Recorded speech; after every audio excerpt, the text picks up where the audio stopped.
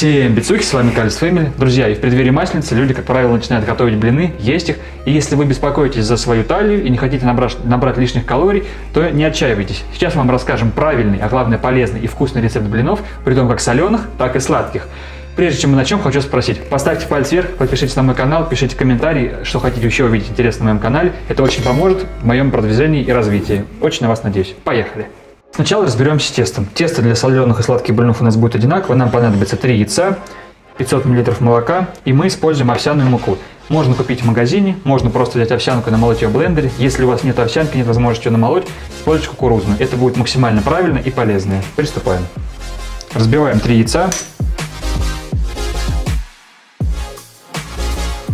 Наливаем наше молоко.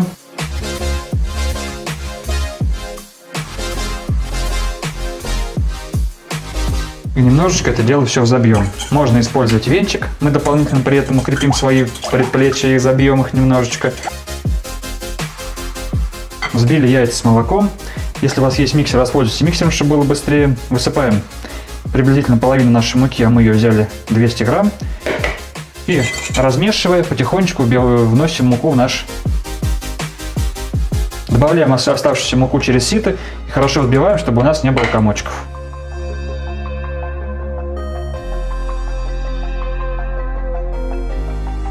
И теперь хорошо взбиваем.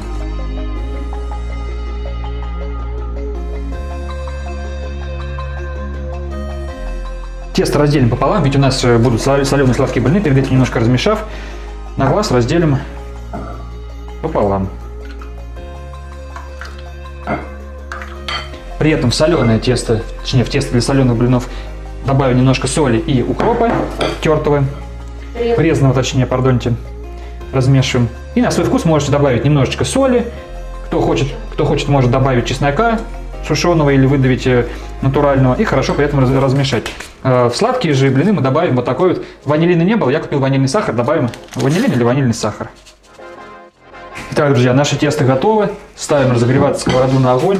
Я налил немножко масла э, в пиалочку. Если у вас есть вот такая кисточка прекрасная, используем ее, чтобы было поменьше жира. Размазываем ей сковороду. И не забудьте перед каждым наливанием э, теста на сковороду хорошенько размешивать э, тесто, потому что овсяная и кукурузная мука имеет свойство оседать.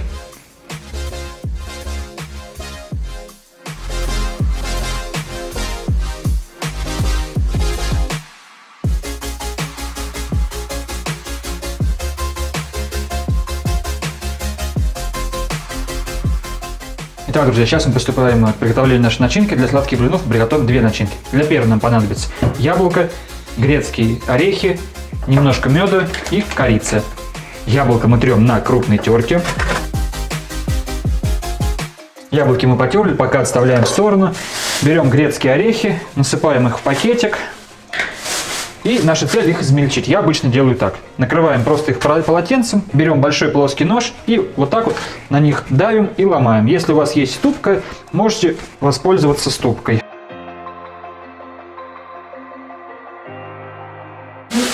Орехи мы немножко измельчили, высыпаем их в яблоки, добавляем по вкусу корицу, добавляем мед. И все это дело смешиваем. Итак, начинка у нас получилась вот такая вот красивая, наверняка очень вкусная. Берем наш блин и выкладываем начинку. Начинку можете выкладывать как вам удобно. Я люблю делать вот так вот. Выкладываем начинку. Стараемся распределить так, чтобы хватило на все блины. Распределяем начинку приблизительно по всему блину или наполовину.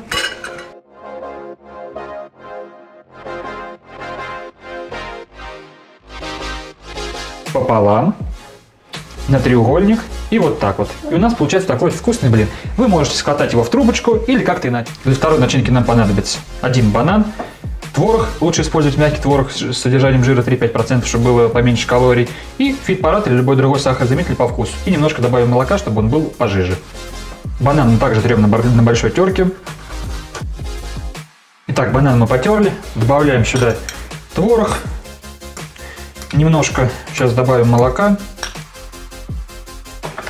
и сахар заметили по вкусу. Пока добавим один пакетик, попробуем, может и так будут сладкие из банана. И все это хорошо размешиваем. Так, у нас получается вот такая вкусняшечка. Выкладываем наш блин, намазываем его нашей начиночкой. И этот блин, например, свернем в трубочку.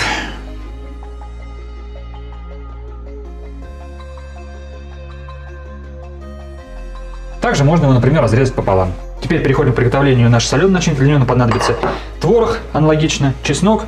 Используйте столько зубчиков, сколько хотите по вкусу. И немножко молока. Также. А, и наш укроп, петрушка, зелень, которую вы любите. Высыпаем наш творог, выдавим, ну, пока что для начала один зубчик чеснока. На деле, скорее всего, конечно, понадобится побольше. Добавим зелень и немножко молока.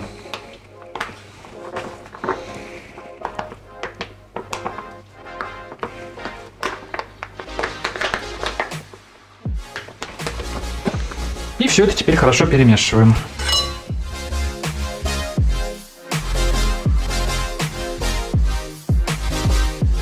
Так, друзья, у нас получается вот такая вот красивая и вкусная начинка. Если у вас есть блендер, конечно же, лучше использовать блендер, чтобы не было комочков, чтобы была лучше консистенция, и все полноценно размешалось.